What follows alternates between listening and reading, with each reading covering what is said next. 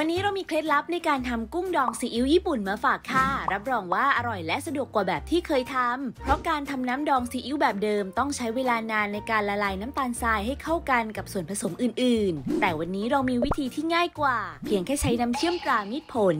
น้ำเชื่อมสูตรเข้มข้น อร่อยเป๊ะพร้อมปรุง วิธีทำเริ่มจากน้ำดองซีอิ๊วก่อนค่ะ ใส่น้ำเชื่อมตรามิตรผลลงในภาชนะ ตามด้วยซีอิ๊วญี่ปุ่น ซีอิ๊วขาว และมิริน คนผสมให้เข้ากัน ไม่ต้องเสียเวลาเคี่ยวน้ำตาล ประหยัดเวลามากเลยค่ะ เราก็จะได้น้ำดองซีอิ๊วที่มีความเข้มข้น พร้อมที่จะนำไปทำกุ้งดองซีอิ๊วญี่ปุ่นแล้วละค่ะ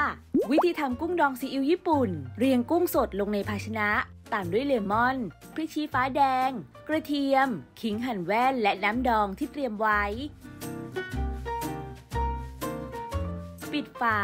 นำเข้าแช่เย็น พักทิ้งไว้ 3 ชั่วโมง จัดกุ้งดองซีอิ๊วญี่ปุ่นใส่ภาชนะ โรยหน้าด้วยงาขาวคั่ว และตกแต่งด้วยพาสลีย์พร้อมเสิร์ฟค่ะ เพียงเท่านี้ก็จะได้กุ้งดองซีอิ๊วญี่ปุ่นที่มีความเงาสวย รสชาติเข้มข้น เนื้อกุ้งเด้งกรอบและอร่อยกว่าการเคี่ยวน้ำดองเอง แถมสะดวกและประหยัดเวลาอีกด้วยค่ะ ในส่วนของน้ำดองสุดนี้เมื่อทำเสร็จแล้วสามารถจัดเสิร์ฟได้ 3 ที่ มีต้นทุนอยู่ที่ 51 บาท เฉลี่ยต้นทุนต่อ 1 เสิร์ฟอยู่ที่ 17 บาท